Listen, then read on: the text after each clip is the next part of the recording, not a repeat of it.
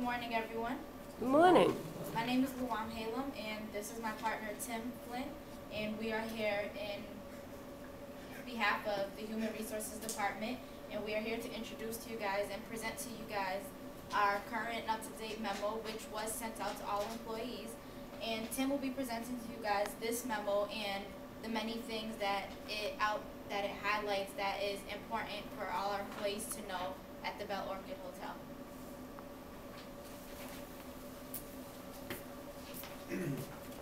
Morning, everybody. Morning, Like Tim. Department said, I'm Tim Flynn, and I'm with the Human Resources Department. Pretty much, the Human Resources just puts out um, memos to ev- all the employees to say all important information that's put out. Um, new employees, important information like it says medical insurance will be um, going up another hundred dollars per month. For all the employees to know. Um, new employees that we get, so, so you guys welcome them if you see them around the building. Um,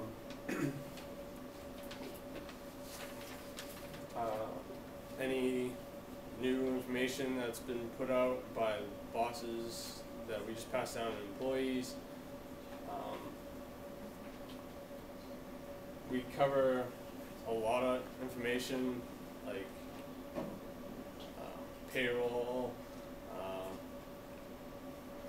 just random information of give to the employees.